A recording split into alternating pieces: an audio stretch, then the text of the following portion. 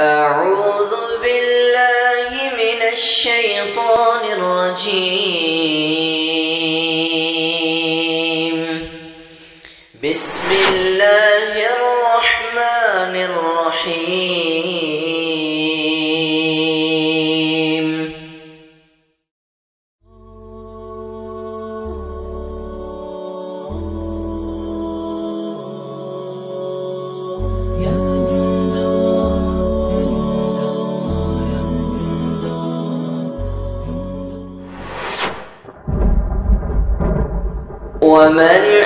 أحسن قولا ممن دعا إلى الله وعمل صالحا وقال إنني من المسلمين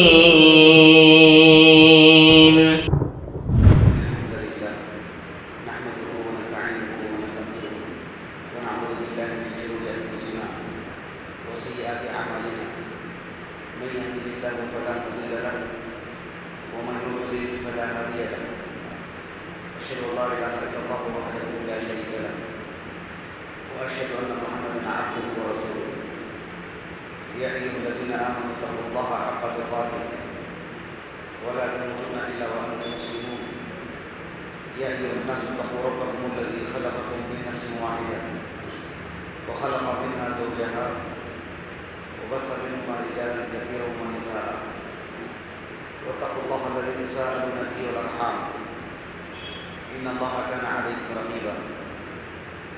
يا أيها الذين آمنوا اتقوا الله وقولوا قولا سديدا. يصلح لكم أعمالكم ويغفر لكم ذنوبكم. ومن يطع الله ورسوله فقد فاز فوزا عظيما. أما بعد فإن خير الحديث كتاب الله وخير الهدي هدي محمد صلى الله عليه وسلم. وشر الأمور محدثاتها. وكل محدثه بدعه وكل بدعه ضلاله وكل ضلاله في النار.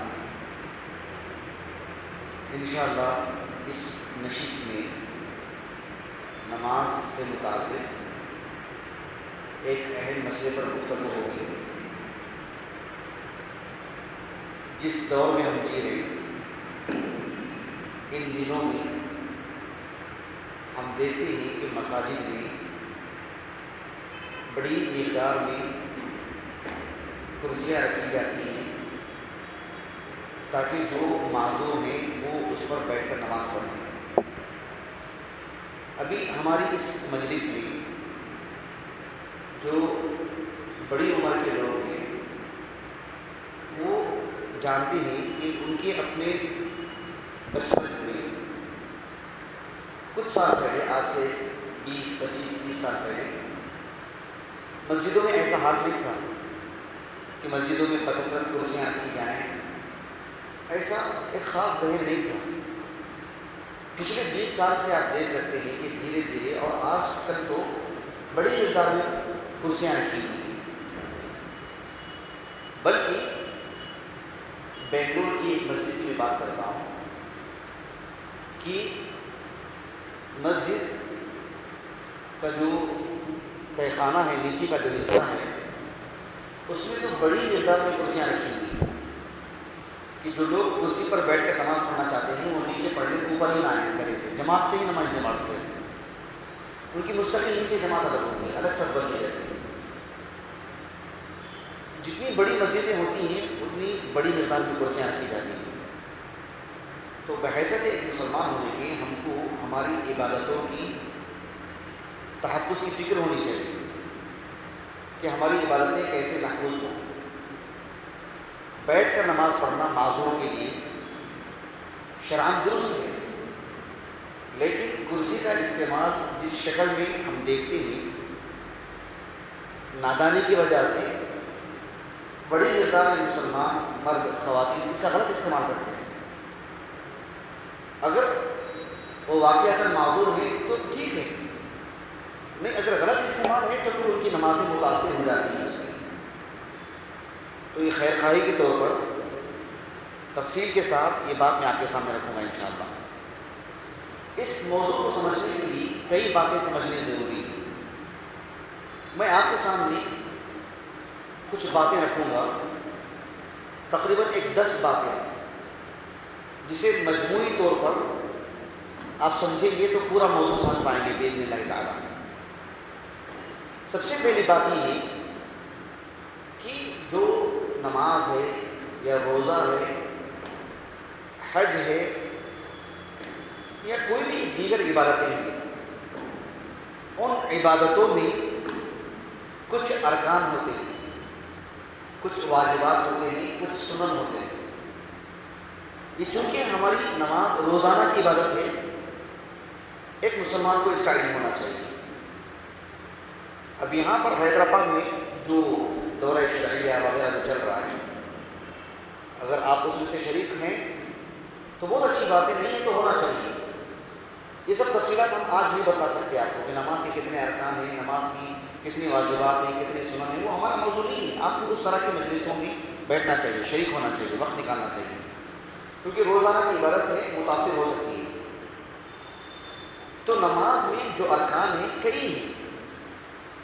جو ارکان کے علاوہ جو امور ہیں، یا تو وہ واجبات ہیں، یا تو سنن ہیں۔ ارکان کا مطلب یہ ہوتا ہے کہ اگر کوئی اسے ادا نہیں کر پا رہا ہے، تو وہ شمار ہی نہیں ہوتی وہ چیز۔ وہ عمل ہی شمار نہیں ہوگا۔ قبول تو بات کی بات ہے۔ اس کا حساب ہی نہیں ہے۔ جس طرح سے قیام میں کسی کو طاقت ہے قیام کی، پھر بھی فرض نماز میں وہ قیام نہیں کر رہا ہے۔ ایک رکن ہے نماز کا۔ تو اس کی رکعت بھی شمار نہیں ہوگی رکو نماز کا رکن ہے کوئی طاقت ہونے کے باوجود بھی نہیں کرتا ہے، تو اس کی نماز ہی، اس کی رکعت ہی شمار نہیں ہوگی سجدہ نماز کا ایک رکن ہے۔ طاقت کے باوجود کوئی سجدہ اس شکل میں نہیں کرتا ہے جو سات اعضا پہ ہونا چاہیے، طاقت کے باوجود۔ تو پھر اس کی وہ رکعت ہی شمار نہیں ہوگی تو آپ اندازہ لگائے کتنی کتنی خطورت ہے اس میں۔ اللہ سبحانہ و تعالیٰ نے نماز کی جو ارکان ہیں، خصوصاً قیام، رکوع، سجدہ، ان کے بارے میں قرآن مجید نے اتنی اہمیت دی، اتنی اہمیت دی کہ صرف سجدے کا ذکر کیا جو کہ نماز کا ایک رکن ہے اور اللہ نے پوری نماز مراد دی جیسے کہ اللہ سبحانہ و تعالیٰ نے سورۃ العلق میں بیان فرمایا کل لا تطیعه واسجد واقترب واسجد، صرف سجدہ کرو نہیں یعنی پوری نماز مراد ہے ہے نماز کا ایک رکن، لیکن مراد پوری نماز۔ اللہ تعالیٰ نے قرآن مجید میں فرمایا سورۃ البقرہ میں، وقوموا للہ قانتین اللہ سبحانہ و تعالیٰ کے حضور پوری یکسوئی اور پورے شعور قانتین اللہ سبحانہ و تعالیٰ کے لیے یکسو ہو کر کے۔ اطاعت و فرما برداری کے جذبے کے ساتھ۔ کھڑے ہوں۔ وہاں صرف قیام مراد نہیں ہے پوری نماز مراد ہے، لیکن خصوصاً قیام مراد ہے، کیونکہ نماز کا ایک رکن ہے۔ سورۃ البقرہ میں اللہ تعالیٰ نے کہا ورکعوا مع الراکعین کرنے والوں کے ساتھ رکوع کرو۔ اس آیت کریمہ کے حصے سے کئی باتیں معلوم ہوتی ہیں۔ ایک بات یہ بھی ہے کہ رکوع صرف رکوع نہیں ہے، پوری نماز مراد ہے۔ یعنی نماز کا ایک عظیم رکن ہے رکوع۔ اس کا ذکر کر کے پوری نماز مراد لی گئی۔ ہے اللہ سبحانہ و تعالیٰ نے صورت الحج کے بالکل آخری حصے میں بیان فرمایا، یا ایوہ الذین آمنوا ارکعوا، واسجدوا، واعبدوا ربکم، وافعلوا الخیر لعلکم تفلحون۔ اے اہل ایمان، تم رکوع کرو، سجدہ کرو۔ اور اللہ سبحانہ و تعالیٰ کے بتلائے ہوئے طریقے پر نیکی نیکی نیکی انجام نیکی نیکی کو انجام دیتے رہے اللہ کی عبادت، اللہ کی عبادت کرتے رہے سورۃ الحج ہی میں اللہ تعالیٰ نے نماز کے یہ تینوں رکن کا ذکر فرمایا۔ ابراہیم علیہ السلام کو اللہ نے حکم دیا وطہر بیتی للطائفین والقائمین والرکع السجود۔ یعنی اے ابراہیم علیہ السلام نے کہا کہ تم میرے گھر کو پاک صاف رکھو،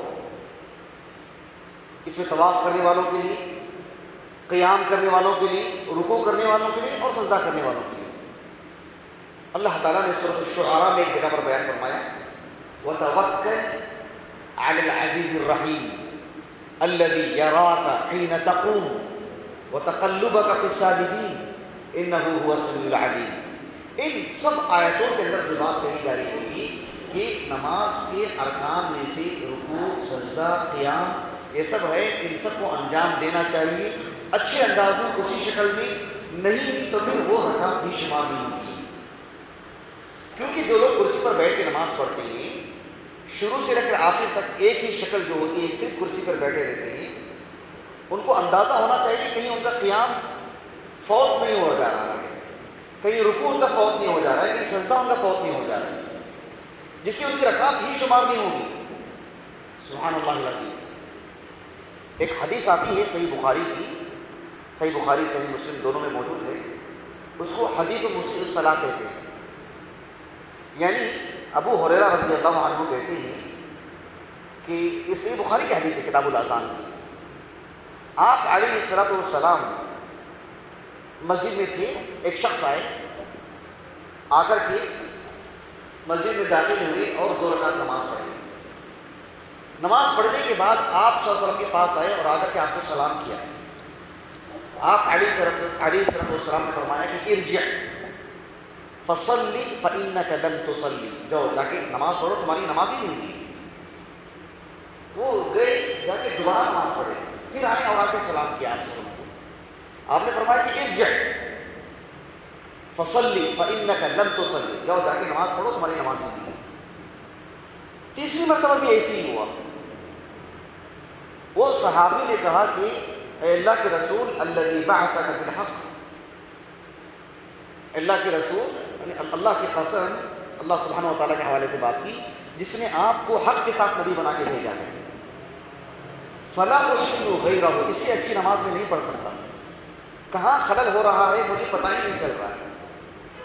آپ علیہ السلاۃ والسلام نے انہیں پوری نماز کا طریقہ بتلایا اور خصوصاً ان سے کہا کہ تمہارا رکوع اور تمہارا سجدہ ٹھیک نہیں تھا۔ امام بخاری رحمہ اللہ نے اس حدیث کو نقل کرنے کے بعد جو عنوان قائم کیا ہے کیا ہے مولانا باب امر النبی صلی اللہ علیہ وسلم الذي لا يتم ركوعه ولا سجوده بالاعاده آپ علیہ الصلوۃ والسلام کا، اس شخص کو اس بات کا حکم دینا جس نے اپنی نماز میں رکوع اور سجدہ ٹھیک ٹھاک نہیں کیا تھا۔ اس کو لوٹانے کا حکم دیا۔ صرف صلاح نہیں دی کہ دوبارہ ایسا مت کرو، کہا کہ نماز لوٹاؤ، کیونکہ شماری نہیں ہے۔ تو ایک شخص کو رکوع کی طاقت ہے نہیں کرے گا تو وہ نماز شماری نہیں ہوگی۔ ایک شخص کو قیام کی طاقت ہے، قیام نہیں کرتا ہے، اس کی نماز ہی نہیں۔ وہ رکعت ہی شمار نہیں ہوتی۔ آپ کو ایک حدیث سناتا ہوں، اللہ اکبر۔ ایک عظیم محدث ہیں ابو یعلا الموسلی رحمہ اللہ مسرد ابی یعلا الموسلی معروف حدیث کی کتاب ہے۔ اس میں صحابی کے نام پہ حدیثیں اکٹھا کی جاتی ہیں، ابو حرا کے نام پہ جس کی حدیثیں ایک جگہ ایسے ایک تابعی ہیں جن کا نام ہے، جن کا نام، جن کی کنیت وہی ہے، ابو صالح الشامی، ملک شام کے۔ وہ ایک اور تابعی سے ایک حدیث سنی تابعی تابعی سے سن رہے ہیں۔ ابو صالح الشامی، ان کے ایک ساتھی جن کی کنیت ابو عبداللہ الشامی ہے، ملک شام کے، دمشق کے۔ ان کا نام بھی کہیں بھی کتابوں میں نہیں ملتا ہے، کنیت سے مشہور ہے۔ ابو صالح الشامی کہتے ہیں کہ میں نے ابو عبداللہ الشامی سے ایک مرتبہ سنا۔ انہوں نے کہا کہ اللہ کے رسول صلی اللہ علیہ وسلم ایک شخص کو دیکھا مسجد میں، جو نماز پڑھ رہا تھا۔ اور وہ شخص لا یتیم رکوعہ ولا سجودہ۔ سجدہ اور رکوع ٹھیک ٹھاک نہیں کر رہے تھے، جسے نبی کا طریقہ ہے۔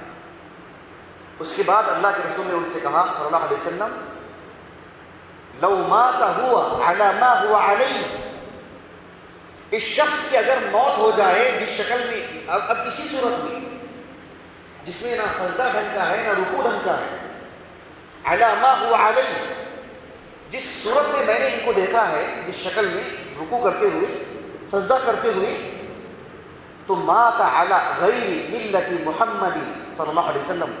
تو یہ محمد کے طریقے پر نہیں مرتا تھا یہ شخص۔ اندازہ لگا رہے ہیں یعنی وہ شخص رکوع سیدھا نہیں کیا، سجدہ سیدھا نہیں کیا۔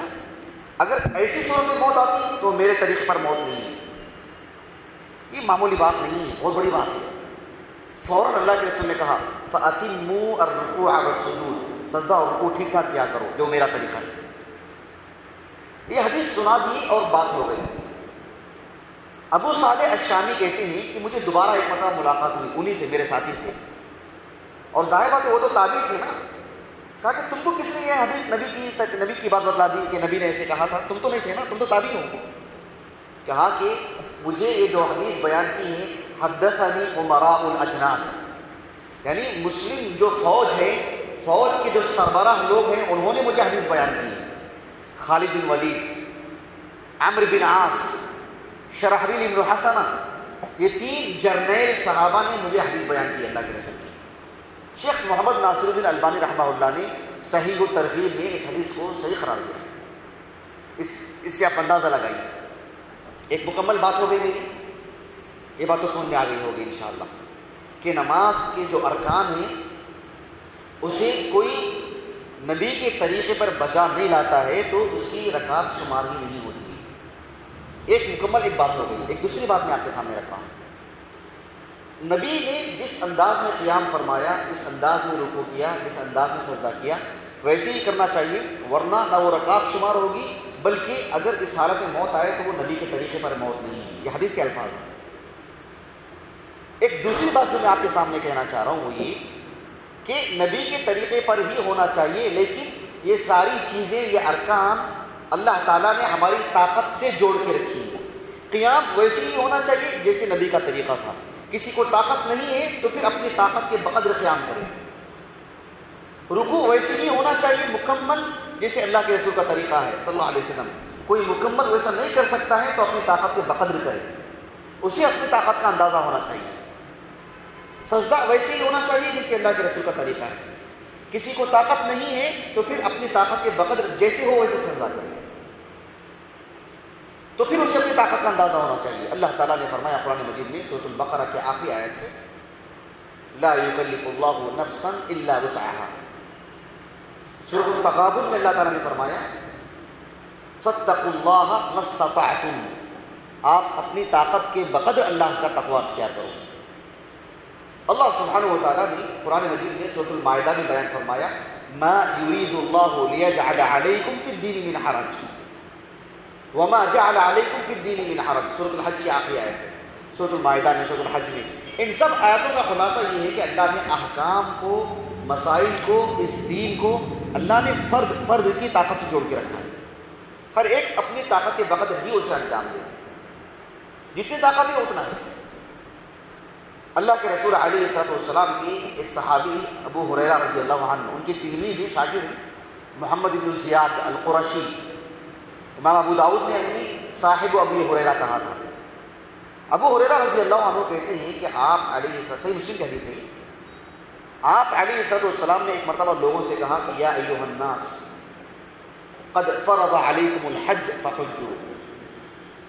اے لوگوں، اللہ تعالیٰ نے تم پر حج کو فرض قرار دیا ہے، تم حج کرو۔ ایک صحابی اٹھے اور اٹھ کر کے پوچھے کہ اللہ کے رسول، ہر سال کرنا ہے حج؟ آپ سب خاموش رہے۔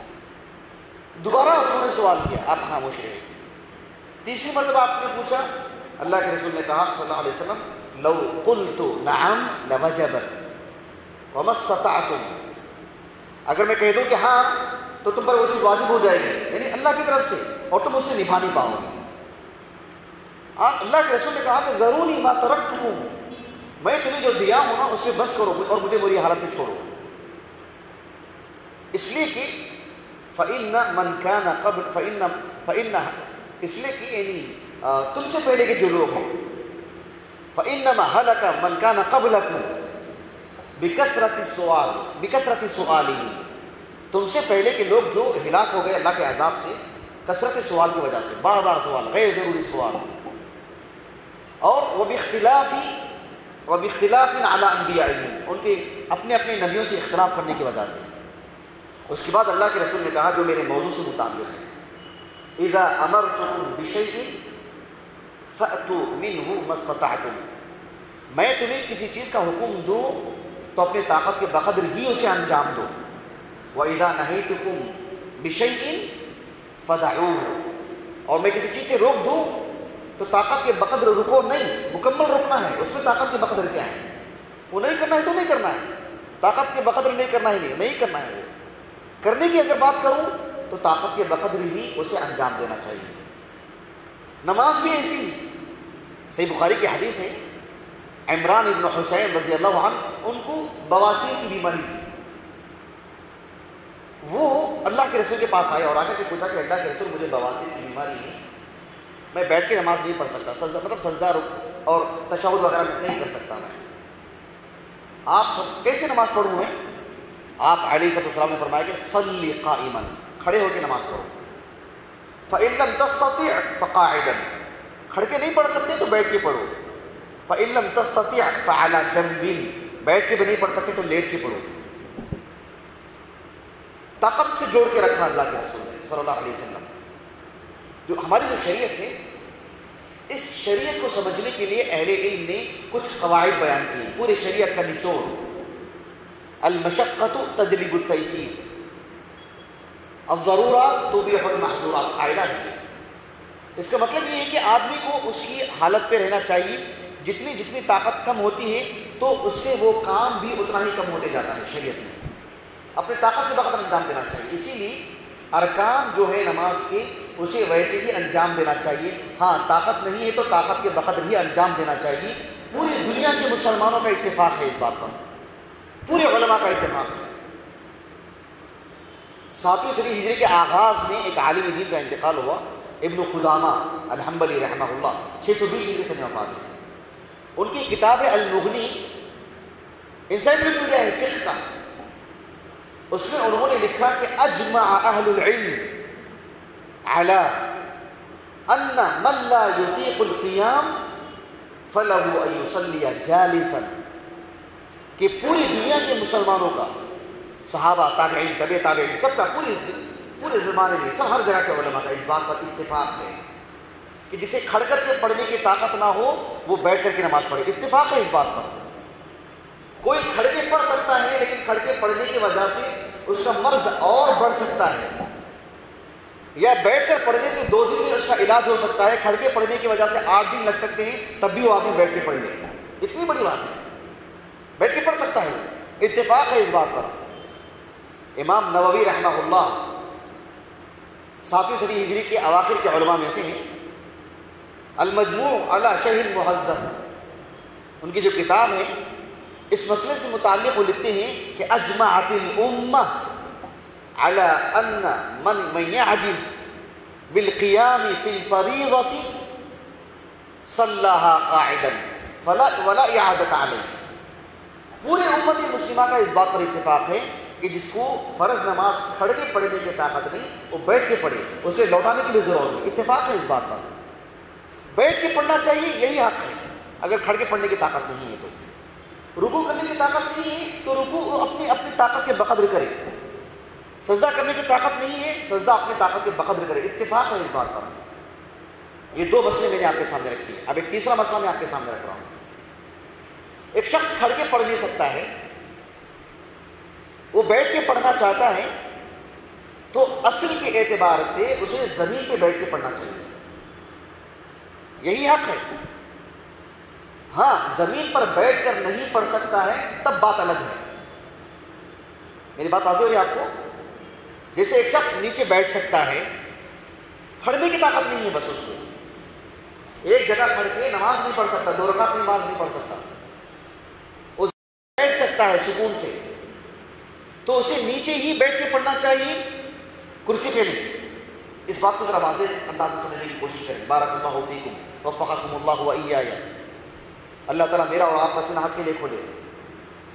بات یہ ہے کہ جو شخص کھڑے ہو کر کے نہیں پڑھ سکتا، نیچے بیٹھ سکتا ہے، تو کرسی پر بیٹھنے کا حق نہیں ہے اس کو۔ وہ نیچے بیٹھے، زمین پر۔ سجدہ کرنے کی طاقت ہے۔ سات اعضا پہ، بس کھڑ نہیں سکتا ہے۔ تو وہ نیچے ہی بیٹھنا چاہیے اس کو۔ اس معاملے میں اکثر لوگوں میں جھول دیکھا جاتا ہے۔ کوئی بھی مسئلہ ہو تو ایک ہی شکل اختیار کر لیتے ہیں۔ شروع سے لے کر آخر تک ایک ہی صورت ہوتی ہے، کرسی پہ بیٹھ کے نماز پڑھنا۔ ایسا ایسا جائز نہیں ہے۔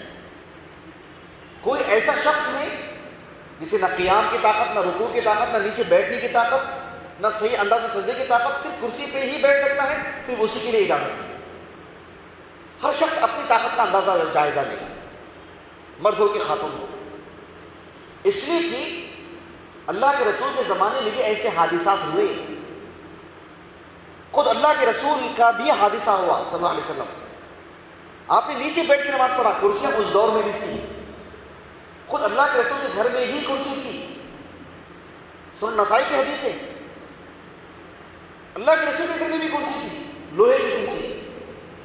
لیکن نیچے بیٹھ کے نماز پڑھا آپ نے۔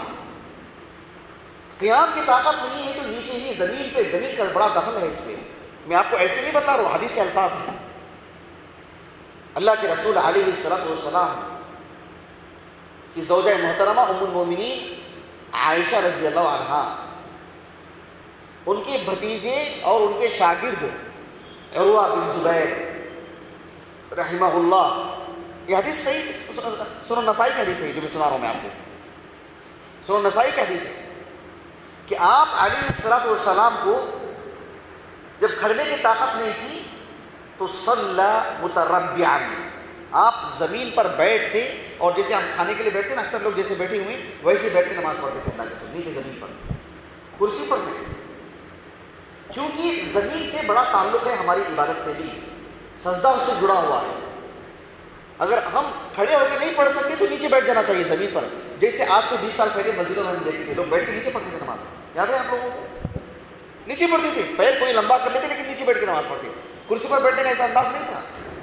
اس دور کی بات ہے۔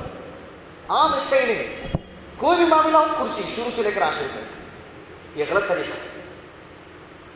صرف قیام کی طاقت نہیں ہے، رکوع کی طاقت نہیں ہے۔ نیچے بیٹھ سکتے ہیں تو نیچے ہی بیٹھنا چاہیے۔ سزا کرنا چاہیے۔ میں آگے آؤں تب سے بتلاؤں گا آپ کو۔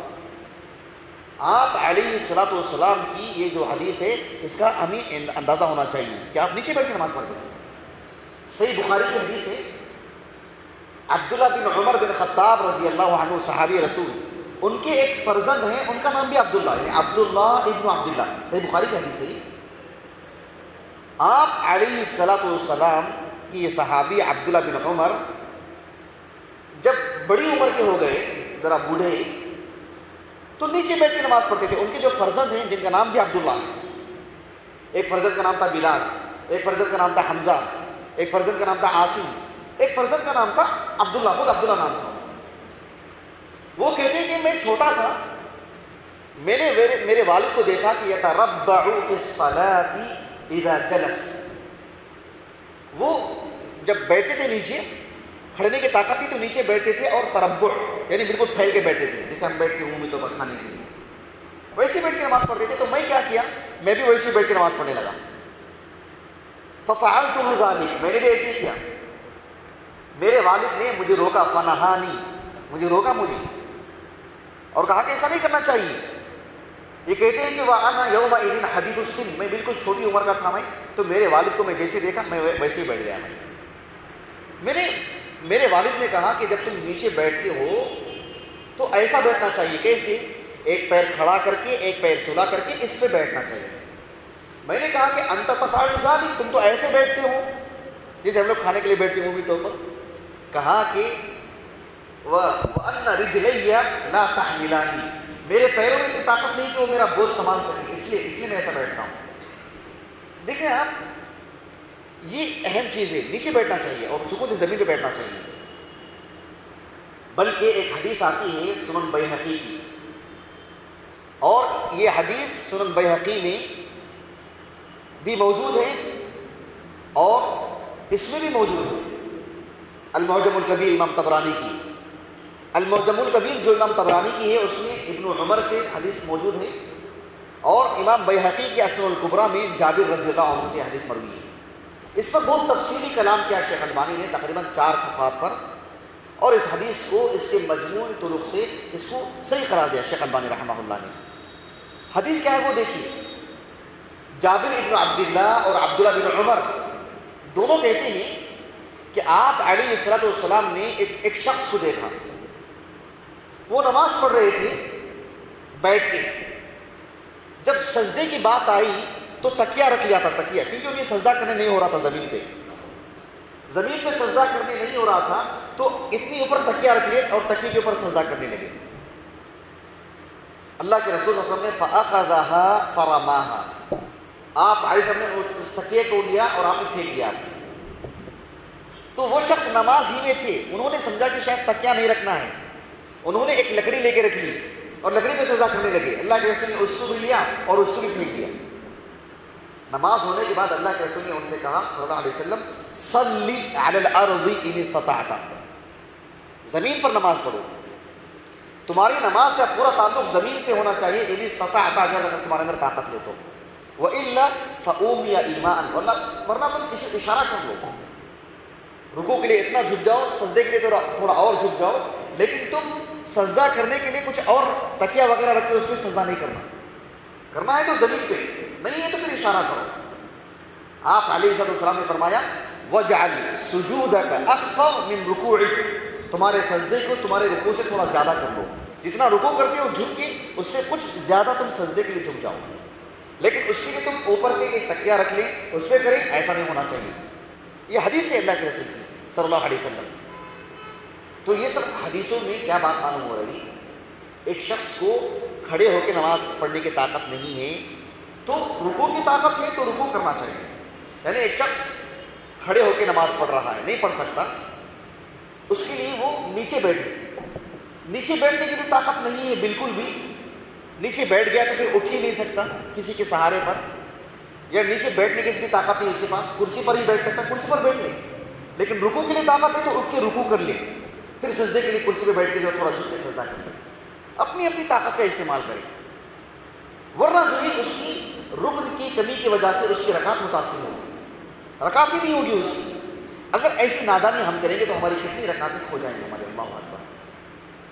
ایک اور بات میں آپ کو بتلا دیتا ہوں یہاں پہ کہ ایک شخص جو کھڑ کے نماز پڑھتے ہیں، اگر کھڑ کے پڑھنے کی طاقت نہیں ہے تو وہ بیٹھ کے نماز پڑھے، لیکن ان کے اجر میں بھی کمی ہوگی تھوڑی سی۔ اجر میں بھی کمی ہوگی۔ اللہ کے رسول علیہ صاحب والسلام کے ایک صحابی عمران ابن حسین رضی اللہ عنہ سے بخاری کے حدیث ہے۔ ان کو بواسیر کی بیماری تھی۔ انہوں نے اللہ کے رسول سے صلی اللہ علیہ وسلم نماز سے متعلق سوال کیا۔ تو آپ علیہ صد السلام نے فرمایا کہ اگر تم کھڑ کے نماز پڑھ سکتے ہو تو کھڑ کے نماز پڑھو، فہو افضل۔ وہ تو افضل ہے۔ فعلم تستطيع فقاعدا۔ اگر تم نہیں ہیں تو پھر بیٹھ کے نم... کھڑ بیٹھ کے نماز پڑھو، لیکن فلاح نصف فلاح نصف اجر القائم۔ کھڑے ہو کے پڑھنے والے کے لیے جتنا اجر ملتا ہے اس کا آدھا اجر بیٹھ کے پڑھنے والے کو ملے گا۔ اجر میں بھی کمی ہو جائے گی اس کی۔ اگر کوئی اس کی بھی طاقت نہیں رکھتا ہے، تو پھر وہ لیٹ کے نماز پڑھے اور فلاح نصف اجر القائم۔ بیٹھ کے نماز پڑھنے والے کے لیے جو اجر ہے، اس کا بھی آدھا اجر لیٹ کے پڑھنے والے کو ملے گا۔ ایک حدیث آتی ہے سورن ماجہ کی اور وہی حدیث انس بن مالک رضی اللہ عنہ سے ہی مسرت احمد بن حنبل میں موجود ہے۔ اس میں کیا ہے کہ اللہ کے رسول کا گزر ہوا ایک جگہ سے، صلی اللہ علیہ وسلم۔ لوگ بیٹھ کے نماز پڑھ رہے تھے آپ علیہ صد السلام نے فرمایا، جو بھی بیٹھ کے نماز پڑھ رہے ہیں، اتنی بات یاد رکھ لو کہ اجر میں کمی ہوگی۔ لیکن اس کا تعلق صرف فرض نماز سے ہے۔ صرف فرض نماز سے۔ فرض نماز میں کوئی کھڑ کے نہیں پڑھ سکتا ہے تو وہ بیٹھ کے نماز پڑھے۔ نفل نماز میں ایسے ایسا مسئلہ نہیں ہے۔ نفل نماز میں کوئی کھڑ کے نماز پڑھ رہا ہے، تھک گیا تو بیٹھ کے بھی پڑھ سکتا ہے، اجازت ہے۔ نفل نماز۔ نفل نماز میں اس بات کی اجازت ہے۔ کوئی رات میں لمبا قیام کرنا چاہتا ہے اور تھک جا رہا ہے، بازو میں ایک عصا رکھ لیا، اس کی اجازت ہے۔ نفل نماز پڑھ رہا ہے، کوئی جو نماز پڑھتے پڑھتے ہاتھ میں تھوڑا سا درد ہو گیا، نفل نماز میں تھوڑا سا ہاتھ ایسے چھوڑ دیا، پھر باندھا اس کی اجازت ہے اس کو۔ وہ صاف ہے اس کو۔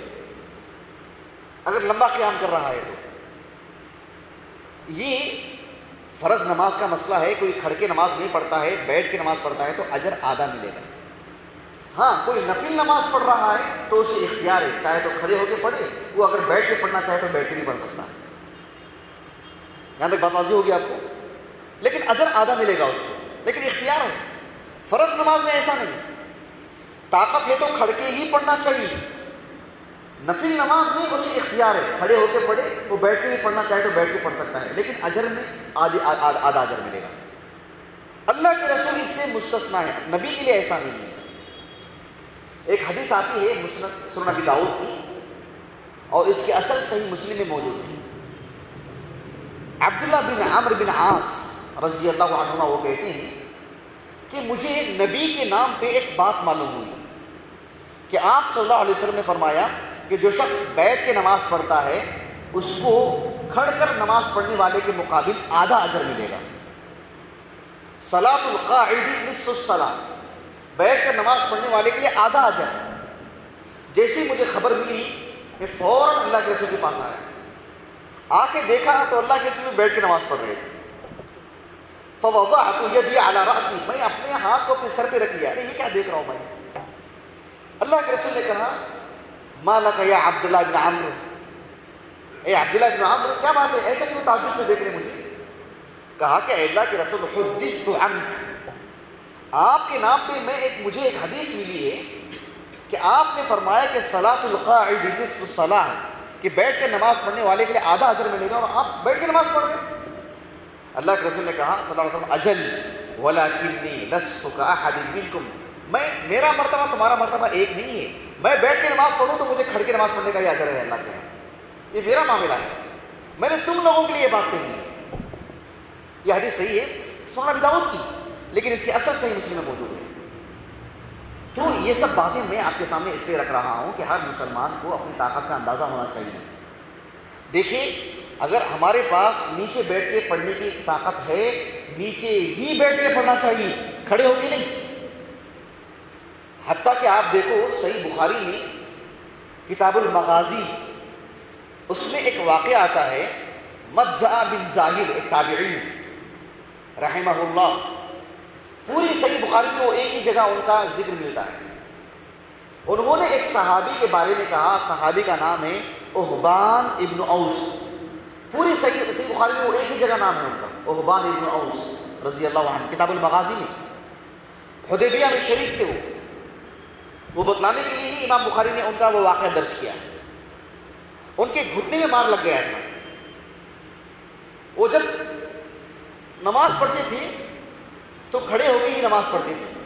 رکو بھی کرتے تھے، کیونکہ طاقت تھی ان میں۔ اور سجدہ بھی وہ مکمل سات اعضاء پہ سجدہ کرتے تھے۔ البتہ فجعل تحت رکبته وسادہ وہ اپنے گھٹنے کے نیچے ایک نرم تکیا رکھ لیتے تھے۔ لیکن ویسے سجدہ جیسے سجدہ کرتے تھے۔ ان کی طاقت نہیں تھی۔ اگر کسی کو اس کی طاقت نہیں ہے، تو پھر وہ بیٹھ کے پڑے لیکن زمین پہ بیٹھے۔ زمین پہ بیٹھ کے سجدہ کرے۔ یہ بہت اہم چیز ہے۔ سجدے کی قیمت بہت عظیم قیمت ہے، سجدے کی۔ آپ غور کیجیے اللہ کے رسول صلی اللہ علیہ وسلم ایک نبی، انبیاء علیہ نصرات والسلام جسمانی طور پر پورے انسانوں میں سب سے زیادہ طاقتور ہوتے ہیں۔ سب سے زیادہ صحت مند ہوتے ہیں۔ سب سے زیادہ آنکھ ناک کے خوبصورت جمال کمال رہتا ہے۔ لیکن انسان ہونے کے اعتبار سے جیسے جیسے انسان کی عمر بڑھتی ہے، تھوڑا سا انسان کا جسم پھیلتا ہے، تھوڑا گوشت بڑھتا ہے، چلنے پھرنے میں رفتار تھوڑی کم ہوتی ہے۔ اللہ کے رسول کے لیے بھی ایسا ہوا صلی اللہ علیہ وسلم۔ صحیح بخاری کی حدیث ہے۔ اس واقعے کو غور سے سنیے گا۔ ام المومن عائشہ کہتی ہیں رضی اللہ عنہ آپ صلی اللہ علیہ وسلم کو میں نے زندگی میں کبھی بھی بیٹھ کر نماز پڑھتے میں نے نہیں دیکھا، کبھی بھی۔ ہاں رات کا جو قیام آپ کرتے تھے، قیام اللیل رات میں، قیام اللیل جسے کہتے ہیں، وہ بھی آپ کبھی بھی بیٹھ کے نہیں کیے، کبھی بھی نہیں کیے۔ لیکن جب یہ صحیح بخاری کی رائے کتاب الاذان کی۔ لیکن جب جب جیسے جیسے آپ کی عمر بڑھنے لگی اصل آپ کا گوشت بڑھنے لگا، آپ کی عمر بڑھنے لگی۔ تو آپ قیام اللیل بیٹھ کے پڑھتے کرتے تھے۔ اب ذرا غور کیجیے اس بات پہ۔ طریقہ کیا تھا اللہ کے رسول کا صلی اللہ علیہ وسلم؟ رکوع کی، قیام کی، سجدے کی کتنی اہمیت ہے؟ ہم کیسے کھو جاتے ہیں اس کو؟ کیسے جو ہے فوت ہو جاتا ہے ہم سے دیکھو۔ آپ وسلم بیٹھ کے نماز پڑھتے تھے، بیٹھ کے۔ سمجھ رہے ہیں آپ یا تو تربع، جو ہماری کھانے کی حالت ہوتی ہے وہ۔ یا تشہد کی حالت میں بیٹھتے اور بیٹھ کے نماز پڑھتے تھے۔ جب رکوع کرنا ہوتا تو حتیٰ اذا اراد ان یرکع، جب بیٹھ کے نماز پڑھتے تھے آپ، تو تلاوت بھی بیٹھ کے ہی کرتے تھے قیام، تو کوئی قیام بیٹھ کے کرتے تھے۔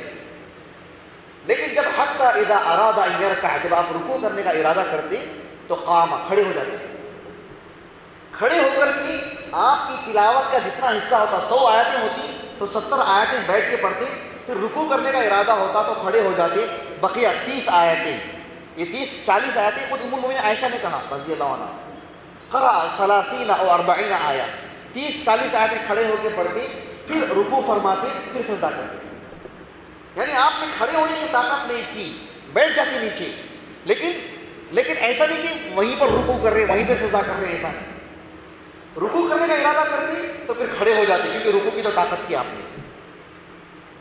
تو پھر رکوع کرتے آپ اس کی اصل شکل میں ہم کرتے ہیں، اکثر لوگ نہیں کرتے۔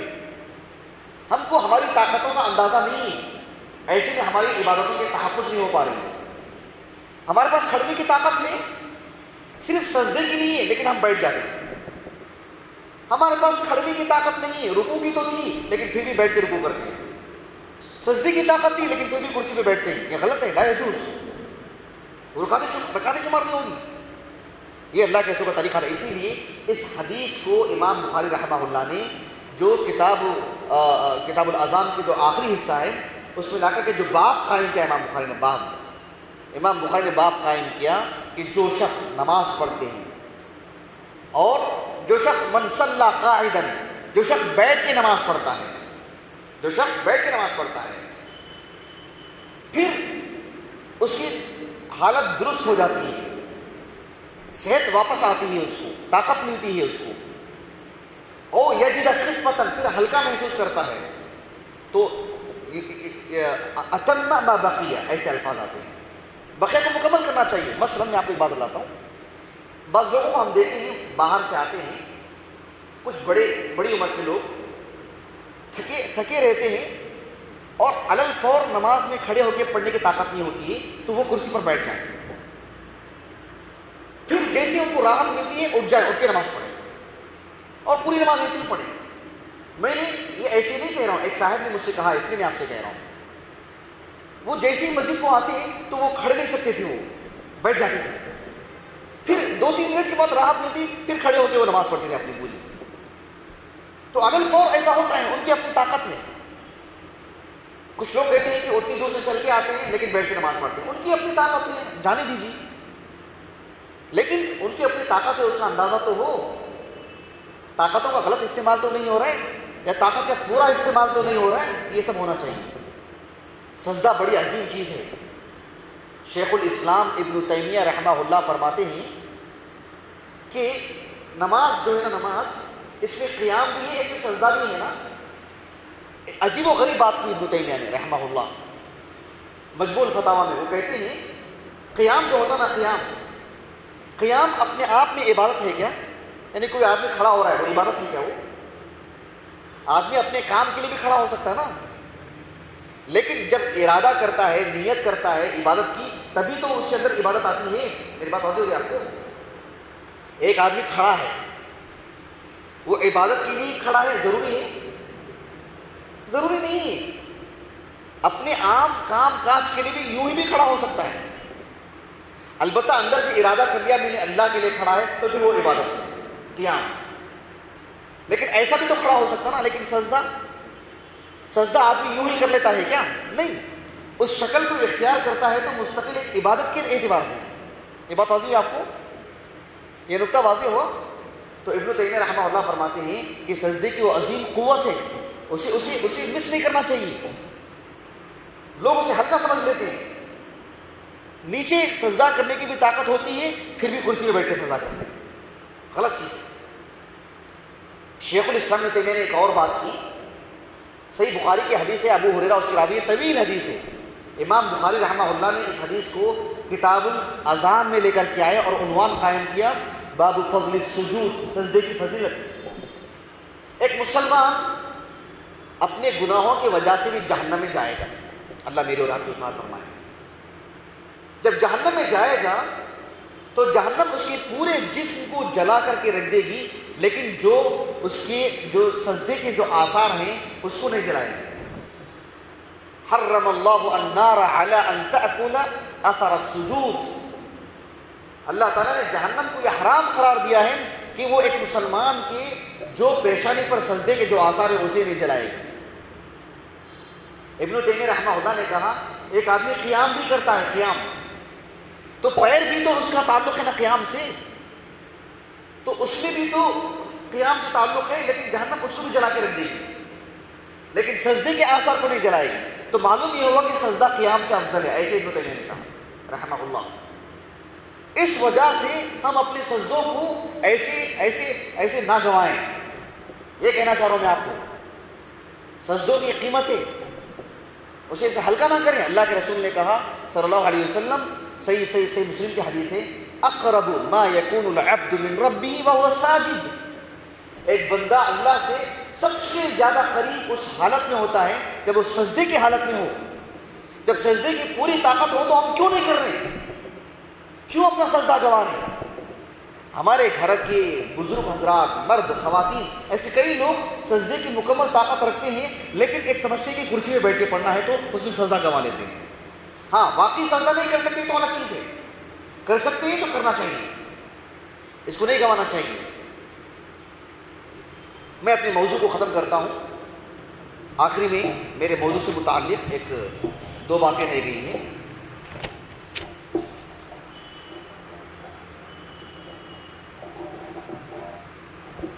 وہ یہ ہے کہ کرسی پر بیٹھ کر نماز پڑھنے سے متعلق ایک دو باتیں آخری کی گھر میں پڑھتے ہیں یا مسجد میں انفرادی طور پر پڑھتے ہیں تو الگ مسئلہ ہے۔ جماعت کے ساتھ نماز پڑھتے ہیں تو اس کا لحاظ کرنا چاہیے۔ امام کو بھی اس کا خیال کرنا چاہیے اور مسلی کو بھی انفرادی طور پر اتنا علم ہونا چاہیے کہ کرسی پر بیٹھ کر نماز پڑھنے سے متعلق کیا آداب ہوتے ہیں۔ اب دیکھیں یہ جو ہماری صف ہے، یہاں ہمارے پیر ہوتے ہیں۔ لیکن جب ہم کرسی پر بیٹھ کر نماز پڑھتے ہیں، تو کرسیوں کے جو پیر ہوتے ہیں، اسے وہاں رکھنا چاہیے۔ ہمارے پیر میں ہمارے پیر وہاں ہوں گے، کرسی اور پیچھے ہوگی، پیچھے والا کہاں جائے گا؟ تو اس کے لیے خلل ہوگا نا۔ ہم سامنے آ جائیں، کوئی بات نہیں۔ کرسیوں کے پیر لوگوں کے پیروں کے برابر ہونے چاہیے۔ سب بندی ضروری۔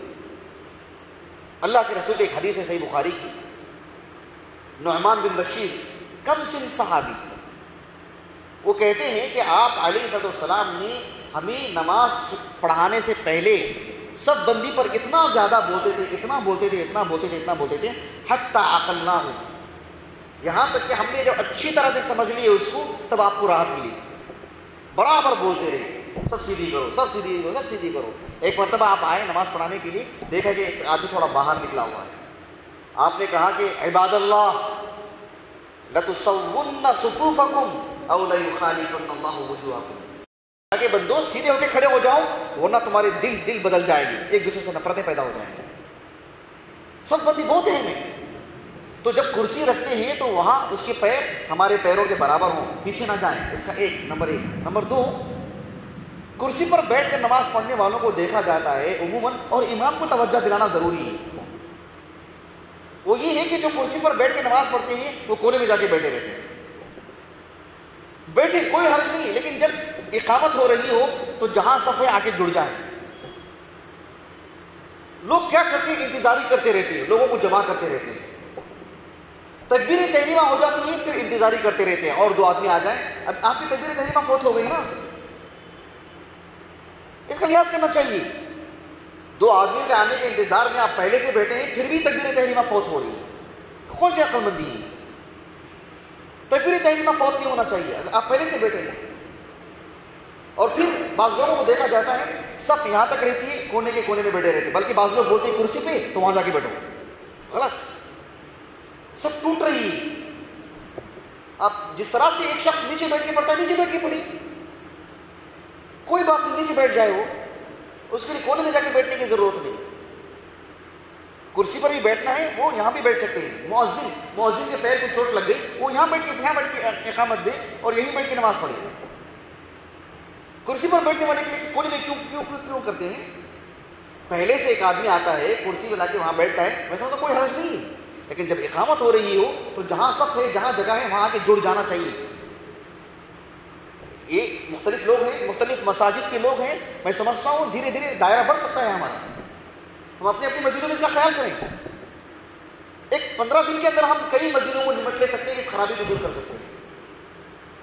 آخری بات میرے موضوع سے متعلق وہ یہ ہے کہ جو چوٹ لگتی ہے پیر کو، ہاتھ کسی طور پر بھی نماز پڑھنے میں تکلیف ہوتی ہے، جس کی وجہ سے بیٹھ کے پڑھنا پڑتا ہے، امام بھی کبھی متاثر ہو سکتا ہے اس سے۔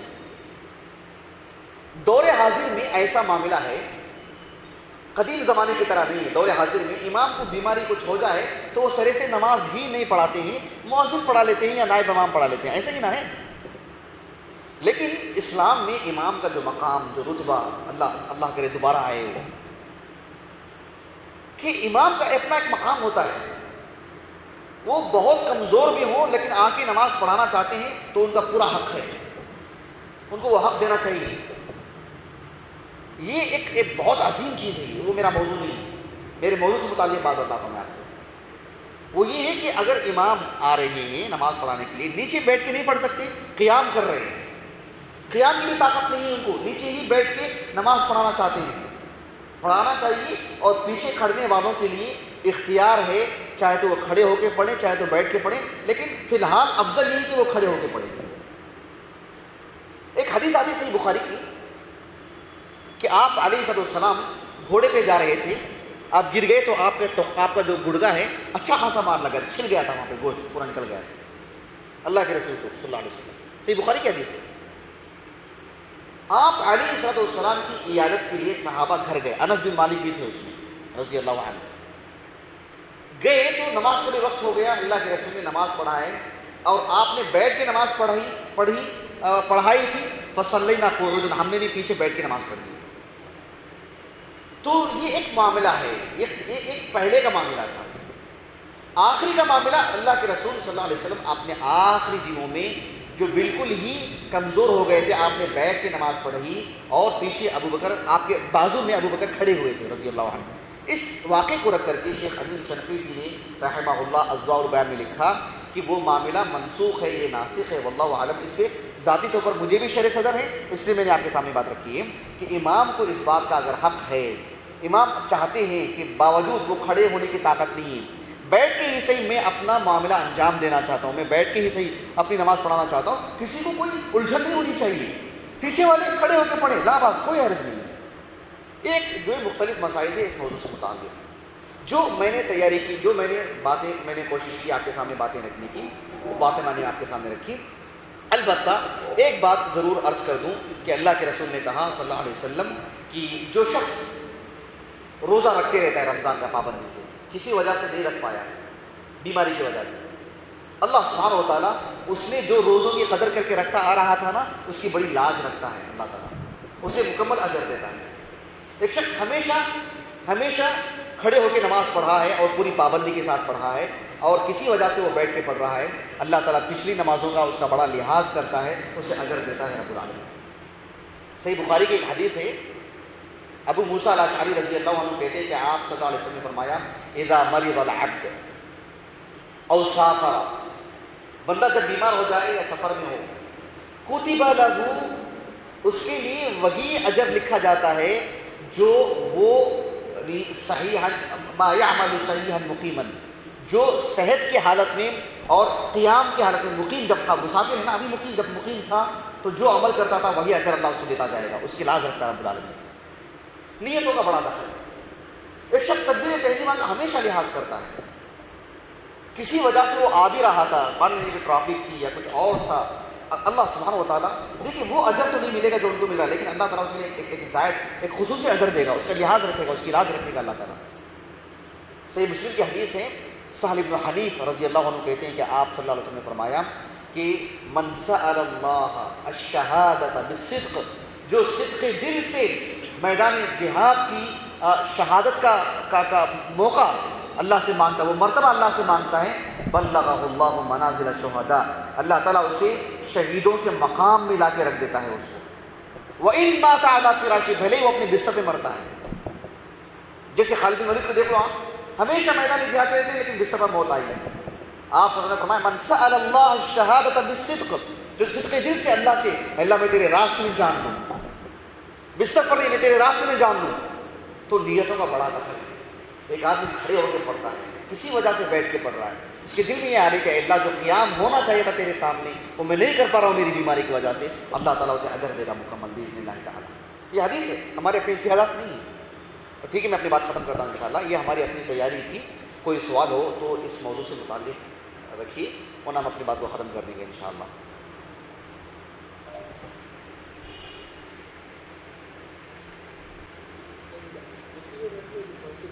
دوبارہ بولیے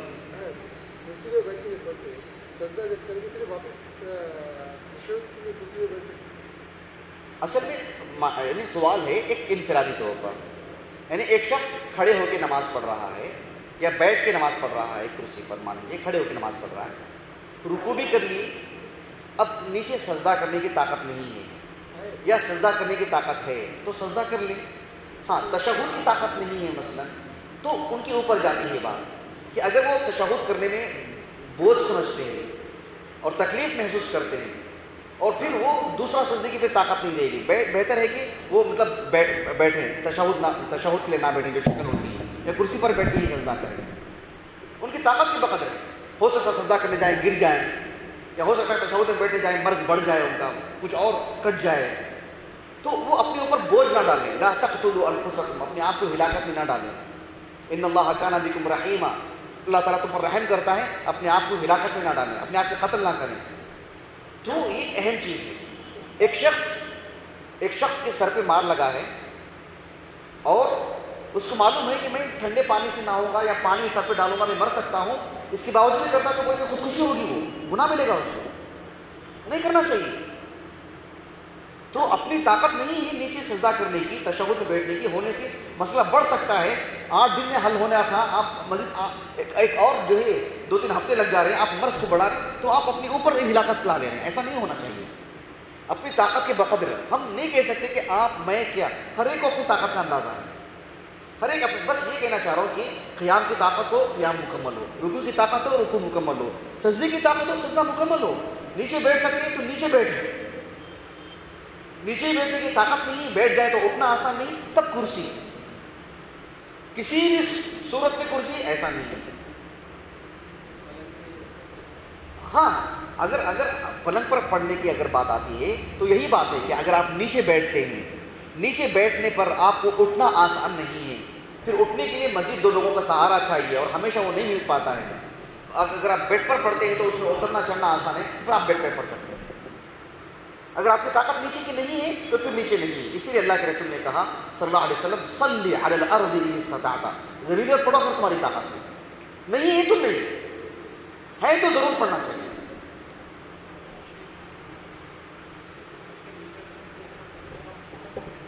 اگر آپ صفوں کے درمیان کرسی رکھیں گے تو آپ کی صف نہیں ٹوٹے گی۔ آپ مان لیجیے کہ ایک شخص جسے قدیم زمانے میں آج سے بیس سال، پچیس سال پہلے ایک شخص نیچے بیٹھ کے پڑھتے تھے صف ٹوٹ- کیوں ٹوٹے گی؟ نہیں ٹوٹے گی نا۔ بالکل بھی نہیں ٹوٹے گی۔ ایک آدمی کو پیر کو مار لگا ہے، لیکن وہ کھڑ کے پڑتا ہے، وہ کہتا ہے کہ مجھے تھوڑا پیر مت لگاؤ، پیر میں درد ہے۔ سب کہاں ٹوٹیا ایک ایک ضرورت کے بقدر کچھ مسئلہ ہوتا ہے، اسے سب ٹوٹنا لازم نہیں آتا۔ سب اس وقت ٹوٹے گی جب صف یہاں تک ہے اور کرسی وہاں رکھ کے کوئی نماز پڑھ رہا ہے۔ تب سب ٹوٹے گی۔ جیسے یہ مسئلہ آ جا رہا ہے، یہ جو پلرس کا۔ یہ درمیان میں ایسا نہیں پڑھنا چاہیے نماز۔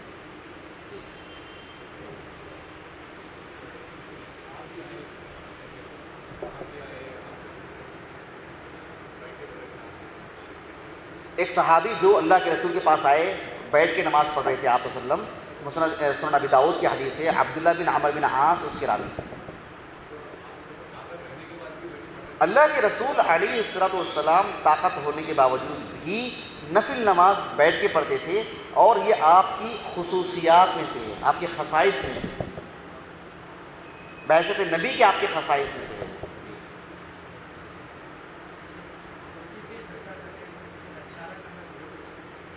نہیں سمجھا، سوال نہیں سمجھا۔ ہاں ہاں یعنی کرسی پر بیٹھ کے پڑھیں، نیچے بیٹھ کے پڑھیں۔ اسی لیے اللہ کے رسول نے کہا، صلی اللہ علیہ وسلم جو سنن بیحقی کی اور الموجم القبیر امام طبرانی کی جو حدیث ہے، جابر رضی اللہ عنہ کے، عبداللہ بن عمر کی، صلی علی الارض ان استطعت۔ و الا فاومی ایمان زمین پر نماز پڑھو، اس کی طاقت نہیں ہے تو اشارہ کر لو، کہا اللہ کے رسول نے۔ کہا کہ وجعل سجودک اخفض من رکوعک۔ تمہارے سجدے کو تمہارے رکو سے تھوڑا زیادہ تم جھکا دو۔ اکثر، زیادہ جھکانا تو باقاعدہ اشارہ کرنا چاہیے، زیادہ جھکنا چاہیے۔ جی جی جی۔ اگر آپ کی طاقت جھکنے کی بھی نہیں ہے، تو طاقت کے بقدر۔ کوئی کوئی کوئی لیٹ کے بھی نماز پڑھ سکتا ہے نا؟ طاقت کے بقدر۔ جی۔ ٹھیک ہے، انشاءاللہ ختم کریں۔ سبحانک اللہم و بحمدک، اشہدو ان لا الہ الا انت، استغفرک و اتوب الیک۔